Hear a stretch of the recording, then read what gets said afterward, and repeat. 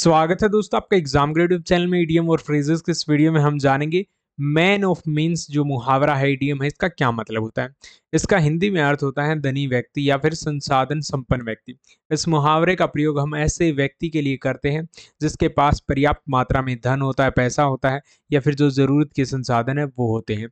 तो उसके लिए हम मैन ऑफ़ मीन्स ईडीएम का प्रयोग करते हैं। सेंटेंस में इसका प्रयोग करते हैं।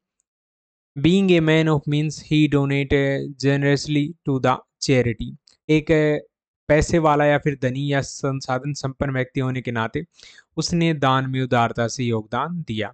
तो धनी व्यक्ति जिसके पास बहुत सारा पैसा होता है तो उसके लिए हम मुहावरा प्रयोग करते हैं मैन ऑफ़ मीन्स वीडियो पसंद ऐसे लाइक करें शेयर करें, ऐसी वीडियो ज़रूर देखें चैनल को सब्सक्राइब करें। Thanks for watching